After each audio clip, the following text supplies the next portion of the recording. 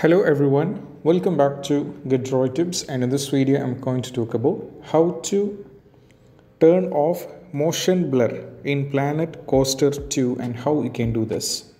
So to do this what you need to do is just follow the instruction it is very simple. First launch your game. So some users end up in having this issue and they don't know how to turn this off. So once the game is launched I'll be showing you what you have to do next.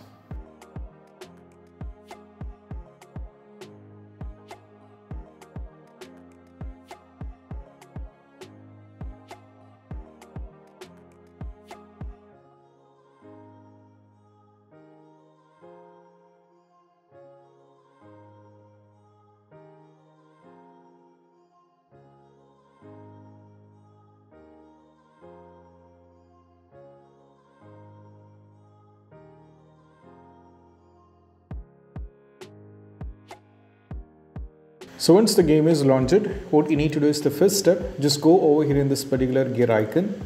Now from here you have to go to this icon, display icon, click on this one and keep scrolling down.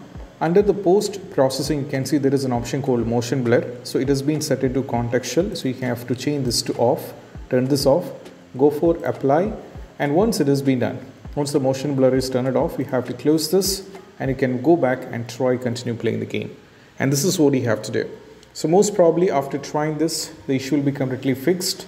I hope this video is helpful and if you find this video helpful, don't forget to subscribe and click on the bell icon for more notification. See you soon in the next video. Peace out. Bye bye.